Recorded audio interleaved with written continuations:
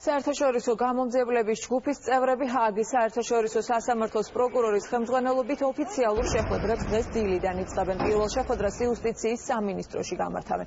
ჰააგის სასამართლოს პროკურორი ფატუ ბენსუდა დღეს იმ არასამთავრობო ორგანიზაციების წარმომადგენლებსაც შეხვდება, რომლებმაც 2008 წლის ომის ფაქტებზე დაყრდნობით სპეციალური ანგარიში შეიმუშავეს და ჰააგის პროკურორს გადაუგზავნეს.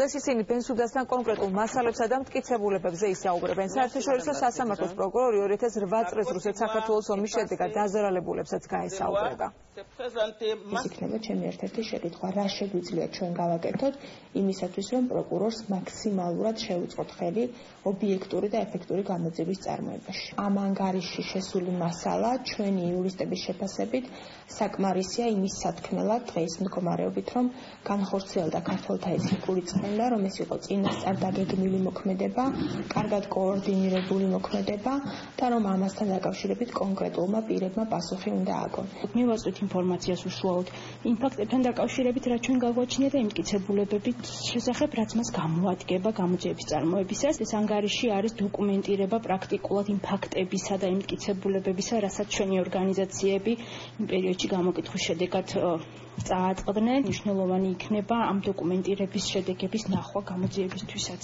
შუამდგომლობაში კონკრეტულად რომელთაც მიმართა პროკურორმა სასამართლოს ნაკლებად არის თქვა გამახვილებული ყურადღება რუსული მხარის მიერ შესაძლო ჩადენილ დანაშაულებებზე და შეიძლება გარკვეული თხოვნით მივმართოთ პროკურორის ოფისს რომ გააფართოს თქვა გამოძიების ფარგლები ეს შესაძლებელია